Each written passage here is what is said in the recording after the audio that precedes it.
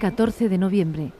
La bolsa española se desmarca del resto de parques europeos y sube el 0,14% este mediodía, ajeno a la jornada de huelga general y atento a la evolución de la crisis fiscal en Estados Unidos y al mercado de deuda en Europa.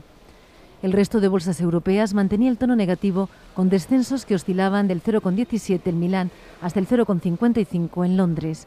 En el mercado secundario de deuda soberana, la prima de riesgo de España, indicador de la confianza de los inversores ante el país, se mantenía estable por debajo de 450 puntos básicos, después de abrir en 452.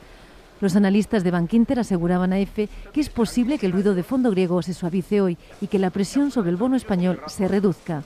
La prima de riesgo española cayó ayer en torno a seis puntos, después de que el presidente del Eurogrupo, Jean-Claude Juncker, asegurara que Grecia no tendrá ningún problema el próximo viernes cuando tenga que hacer frente a unos vencimientos de 5.000 millones de euros.